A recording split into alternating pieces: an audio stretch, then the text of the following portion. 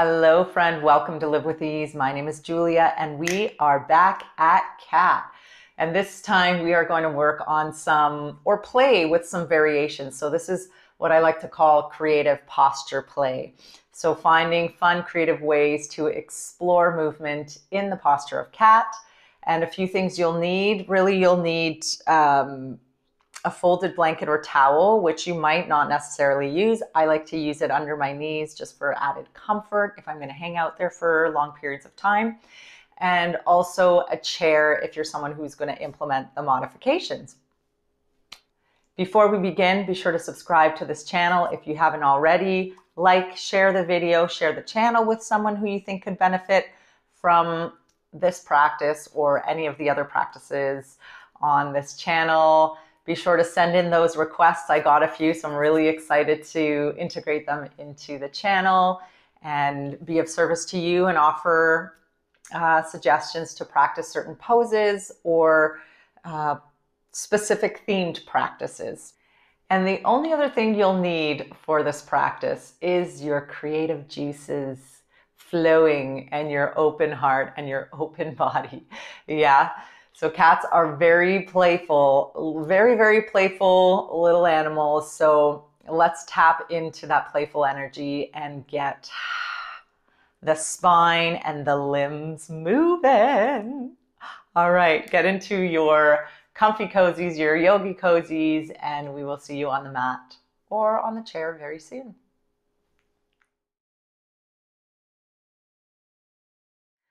Alrighty, so why don't we get started? You can uh, find a comfortable seat, whether it's sitting on your heels. If you're using the chair or a bench or a piece of furniture, you can go ahead and sit on that, or you can sit on your folded blanket or towel, or um, a cushion, bolster, whatever you have. Just finding a comfortable seat. And I just want to mention that most of these mm, creative creative variations we're going to do, playful variations we're going to do in cat. Most of them you can do in the modifications.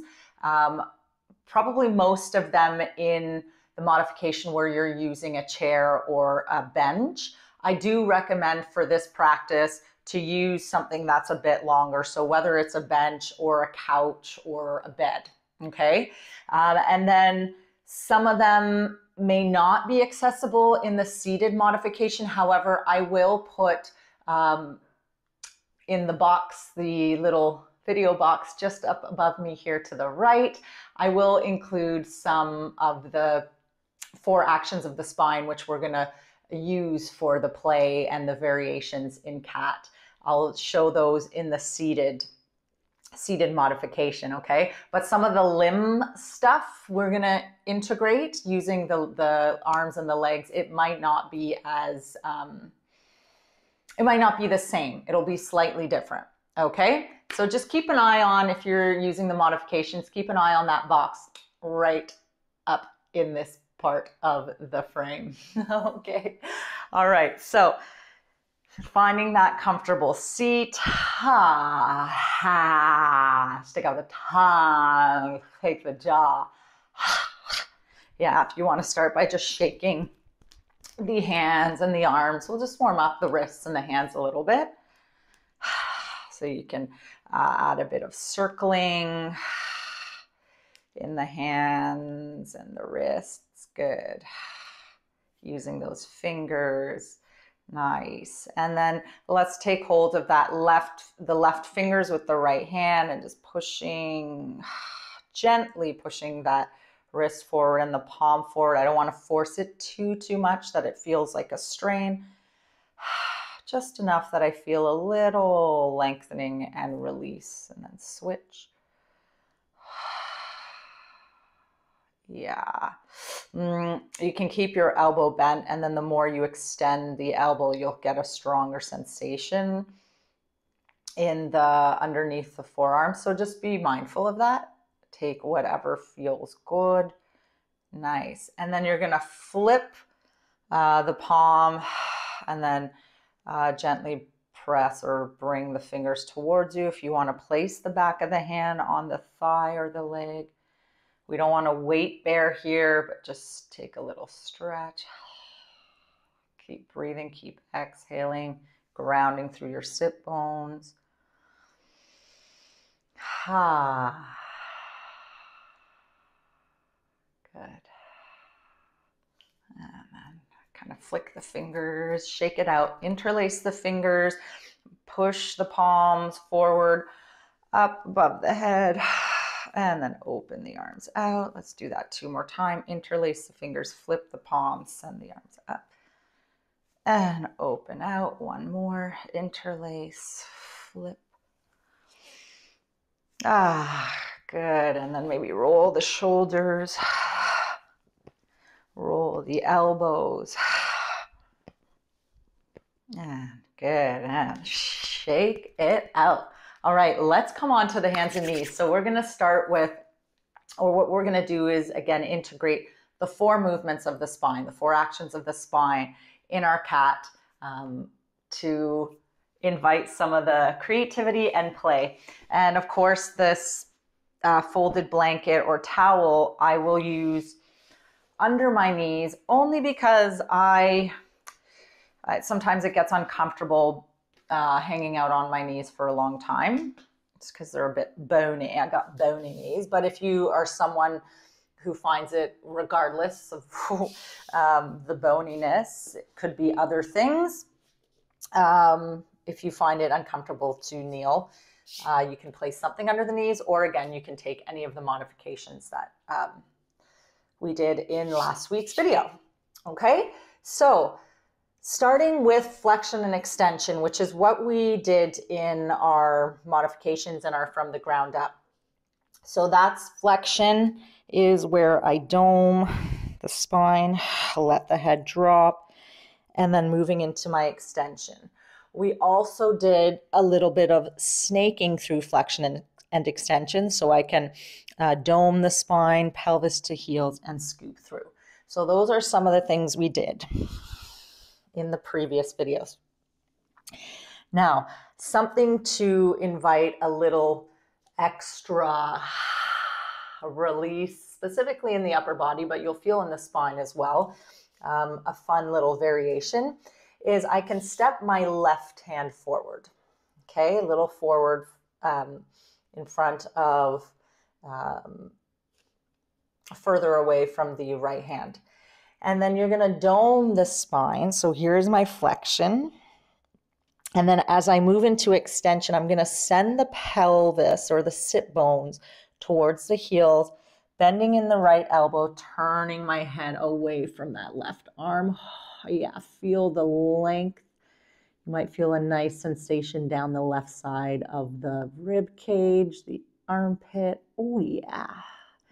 And then inhale, dome.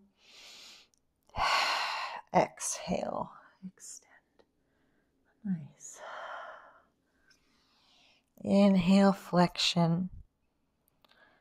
Exhale, extension. So this is actually called leopard. So it's a variation of cat. Or a species, or a certain type of cat. Good. Nice. Very good. And then you can switch sides. So I can place my left um, back beside the right, and then I'm going to step that right hand forward. Again, dome, flex the spine. And as I exhale, sending the sit bones towards the heels, bending in that left elbow, turning the head away from the right arm. Ah, yeah. Again, I want to keep thinking of lengthening the tailbone and the skull away from each other, whether I'm in flexion, extension, or any of the other movements of the spine will invite in. Yeah, so moving at your own pace here, in and out. You can also hang out for a few breaths if that appeals to you. Good. Nice. Groovy. So bringing that right hand back. Another uh, variation we can play with in flexion and extension. This one's a lot of fun. It's a little more, um, a little more work, a little more. Uh, I, I don't want to say effort because you want to keep minimizing your effort. Like, don't push too hard, but it will feel like a little more work. So, I can draw my right knee in towards the forehead, and then I can either extend the leg back or for knee to forehead and leg back, lifting it, elevating it off the ground, keeping the skull heel. So maybe if there's a string attached from the, the tailbone to the heel, it's helping to lengthen the tailbone away from the skull. Again, moving in to flexion, extension. Nice. Beautiful. And then if you want to add some sauce to that, you can exhale and take the left arm off the ground as well to encourage the lengthening of the skull away from the heel, the tailbone. Good. Again, lower. Find your flexion. Find your extension. Mmm, delicious. Food for the spine, hydration for the spine. This is all so ah delightful. Good. And then lower that right leg. Let's try the other side. So, something I want to mention as you move into more of the balancing um, variation is make sure you keep breathing and utilizing the out breath and pouring the energy of the breath down the anchors, the pillars, the points of grounding, the points of contact, okay? So that um, it's not about lifting the arm or lifting the leg. It's like the more I exhale the breath through the bones to ground, it's almost like the limbs are floating off lightly, effortlessly. Yeah. I know easier said than done, but keep practicing that. Keep integrating the breath with the movement because that's going to create a bit more ease and fluidity in your movements, yeah, and help build strength without creating tension. So we don't need to always over engage everything and squeeze everything because that just brings the bones closer together and um, can create um, lack of mobility or less mobility in the joints. Yeah, shortening the the the space in the joints. So Let's draw the left knee to forehead into flexion. Extension, lengthen the leg back. Again, your leg doesn't have to elevate. I can keep it on the ground. And then when you decide to add the arm, you can also keep the leg on the ground. Or you can take the leg off, elevate, float. Yeah, I'm still breathing. Can I still talk? That's an indication of whether or not I'm holding my breath. So take a variation that feels like you can still create breath flow. Ha. Very nice. Nice work, everyone. Keep breathing, keep moving. Yes. Nice. And return that left knee back on the ground if you want to do a little bit of snaking through. Always feels good. Mm-hmm.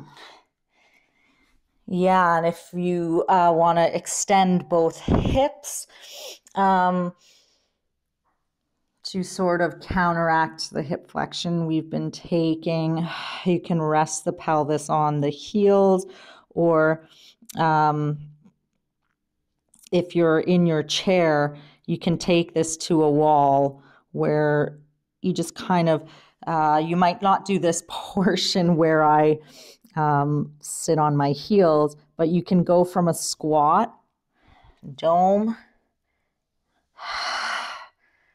and find your cobra. So you can go in and out. This is just a nice way to counteract uh, hip flexion just to create a bit of extension in both the hips, or you can just rest the elbows on the ground or forehead to hands.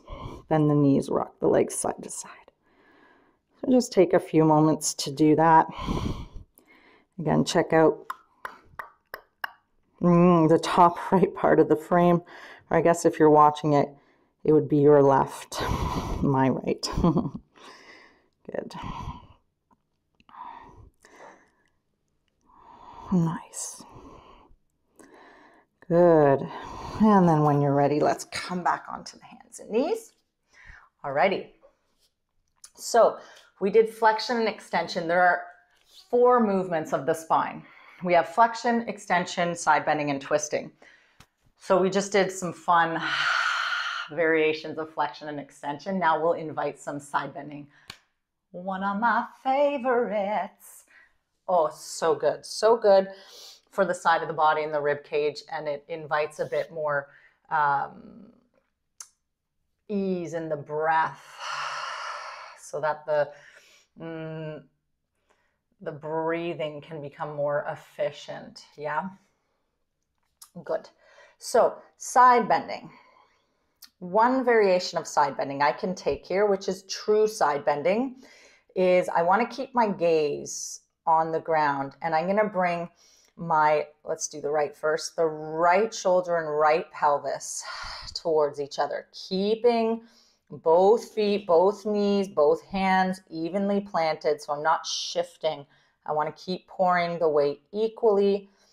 And then I'm going to shift left shoulder to left pelvis.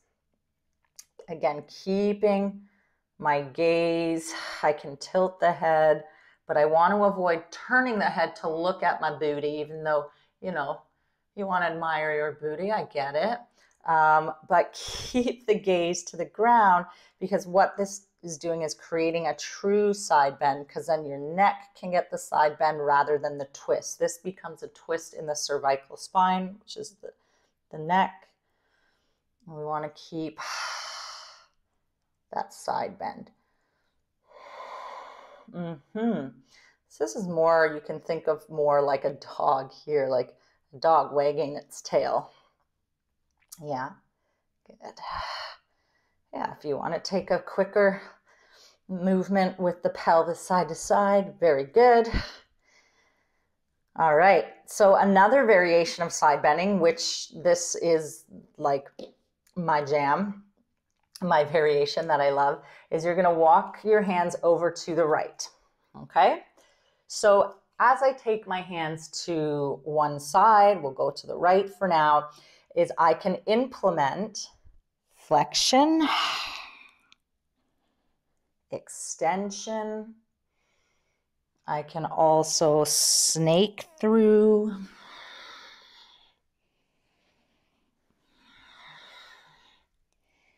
Yeah. And then I can also add that leopard variation. So I can step, if I walk to the right, I'm going to step my left hand forward and then dome the spine. As I move into extension, I'm not going to send the sit bones sideways, leaning into the left leg. I want to think of sit bones, tailbone going straight back towards the heels, turning the head away from the left arm. The heel, the sit bones uh, don't need to touch. In fact, they're they probably shouldn't because we want to keep that extension that they're going towards the heels, but also towards the wall behind you. Good. And then I can inhale, dome, exhale, extend. Mmm. Doesn't that just feel delicious? Nice. Good. And then if you want, you can add, so I can bring my left hand back to meet my right here in the side bend. I can take my left leg back and maybe cross it over the right a little bit. Finding that length through the heel, skull. I can also roll inward the left leg inward. Find a little, ooh, a nice little lengthening sensation on the side of the left side of the waist. You might feel it in the ribs, depends where your tension lies. Nice.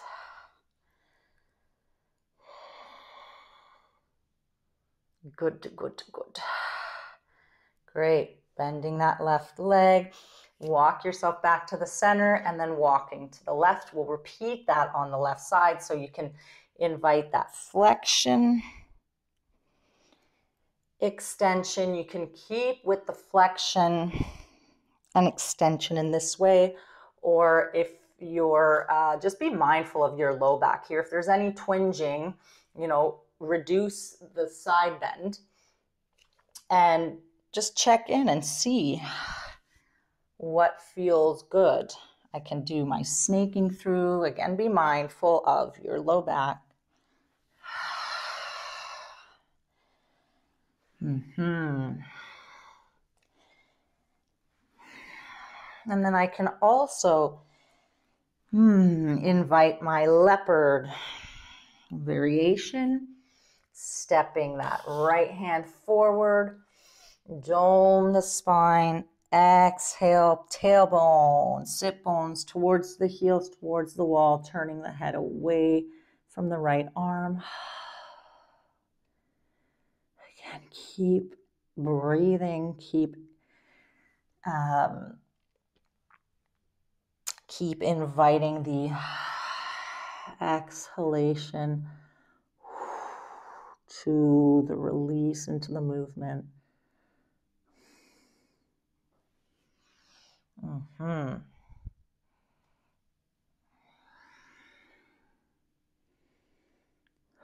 Release into the points of grounding.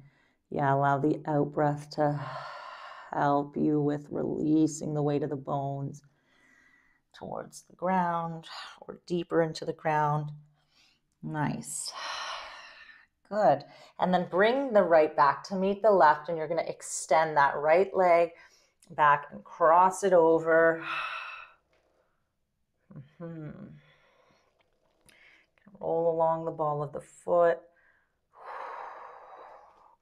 You can internally rotate that left or that right hip, right leg. Ooh, yeah. Ah, it's not as strong on this side for me as it was on the other. Good. Awesome. And then bringing that right leg back, walk yourself back to the center. And the last movement of the spine is a twist. And this is such a great one to counteract all the movement, all the other movements we were doing in the spine. Um, rotating is such a nice way to release any extra bit of tension. It feels so good. And it's um, energizing yet soothing, detoxifying. Rotations are the best. I love them. Okay, so we have an open rotation or open twist and a closed twist. So moving into the open twist first, what I can do is take my right hand to my sacrum, the back of my sacrum and pelvis. As I exhale, ground through the points of contact, lengthen through the skull and tailbone. I'm going to turn, rotate my spine towards the ceiling. I can keep thinking of lengthening that sacrum tailbone away from the skull. I can move in and out. Keep lengthening, lengthening, lengthening. Mm-hmm. And then to the closed twist, what you could do is then release that right hand from the back of the pelvis, slide it between um, the legs and the supporting arm, the left arm. Feed it through, tuck the chin under, rest the side of the skull on the ground. Placing that left hand as your support Good. And make sure you tuck the chin so we're not in this extension in the neck, that we have a nice long neck. And then I can come in and out of that open twist, closed twist, grounding through both knees, feet. Good. As I open into the twist, I can even take the arm up towards the ceiling if that feels inviting. Mm-hmm. So again, I can move in and out at my own pace. I can hang out for a few breaths. Oh yeah, I just had a nice pop there. Spontaneous adjustment. Love those. and then in your twist here, you can also play with extending that left leg back and placing the left hand kind of above the skull. mm-hmm. You can also kind of take that leg out to the side for more stability. Oh, yeah. Keep releasing the bones into the ground. So I'm not tensing and holding too much. I can support through my bones and let the, the musculature around the bones relax. Good. Return the leg back. If you took it out to the side, bending in the knee, return the hand back to the side. And one last open and release to the ground. Good. Let's try the other side. So again, I can open out Lengthen, lengthen, lengthen that sacrum, tailbone, skull. Mm-hmm.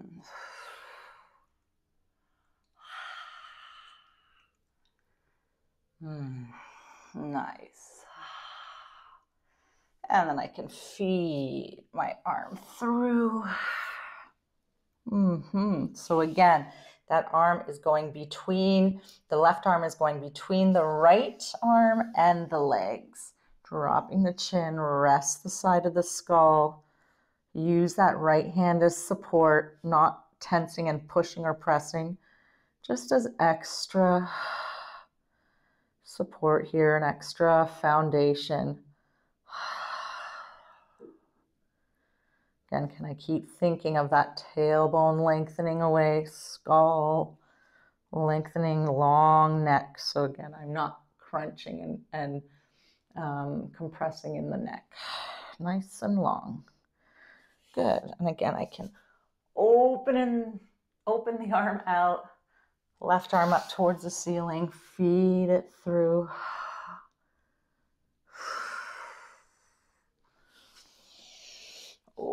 opening out.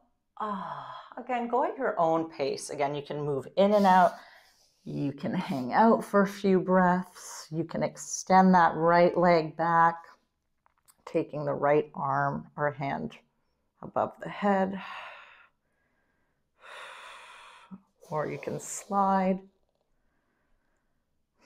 that right leg to the side. Yeah. Mm, energizing, creative posture play. So much fun. So many things we can do in different postures. Ah, oh, that just give us a little extra bit of energy, life, increase our movement repertoire. It's great. Feel our bodies in a way maybe that we haven't felt before or thought we wasn't possible, then you realize when you slowly build and slowly move, integrate the breath with the movement, you can do more than you think you can. That's what I find with a lot of my patients or clients is they'll, you know, as I get them to slowly breathe, connect the breath to the body and the movements, they're like, whoa, I didn't think I could do that." So it's it's pretty special. We just got to keep doing a little bit of it every day. So when you're satisfied with the twist, you can come back to the center. Again, we can dome and snake through a few times. And then another beautiful way to counteract what we were doing is some circling in the rib cage. So I can imagine that I'm kind of kneeling in a barrel and the barrel's kind of on its side and the opening's out in front and I'm seeing if I can touch each part of the inner wall of the barrel with the rib cage, spine, sternum. Yeah. circling. And then reverse the circle. Yeah, make sure the head isn't held or the neck isn't held, tightening. Let it be a silent passenger. Let it just come for the ride. Good. And then can we do the same thing in the pelvis? If I imagine a pencil attached to the, the bottom of my, uh, sorry, tailbone, and the lead piece is at the wall behind me, and I'm drawing circles on the wall behind me with my tailbone and my pelvis, sit bones. Good. And then make sure you reverse. Beautiful. Nice. And then take a moment to shift back into a child's pose or rest the pelvis on the heels. Take a moment here as you exhale to release. the sit bones, the pelvis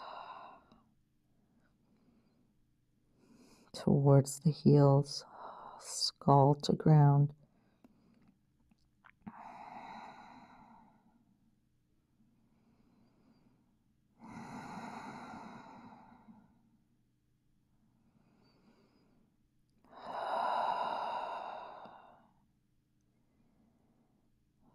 Good. And again, from here, I can go from cat to cobra, or I can go into sphinx, which is basically cobra on my elbow and forearms, or forehead to hands, bend the knees, rock the legs side to side. So I'll do all three variations. So from child's doming through cat to cobra is one variation.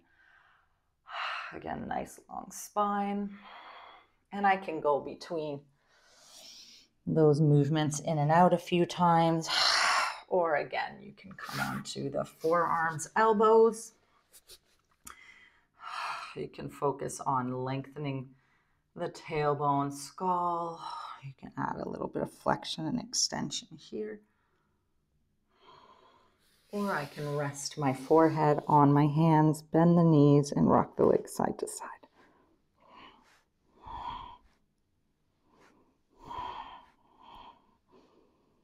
Mm-hmm. And in um, the modifications, it might feel nice to come onto the belly if you can and do a little bit of rocking of the legs side to side. Hmm. Good. Nice. And then rest either on the belly.